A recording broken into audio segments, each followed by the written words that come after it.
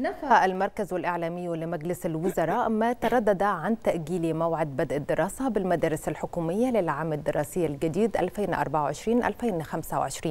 بدورها أكدت وزارة التربية والتعليم والتعليم الفني أنه لم يتم إصدار أي قرارات بهذا الشأن مشددة على أنه سيتم بدء الدراسة بكافة المدارس الحكومية على مستوى الجمهورية في موعدها المقرر وفقا للخريطة الزمنية المعتمدة من قبل المجلس الأعلى للتعليم قبل الجامعي للعام الدراسي الجديد 2024-2025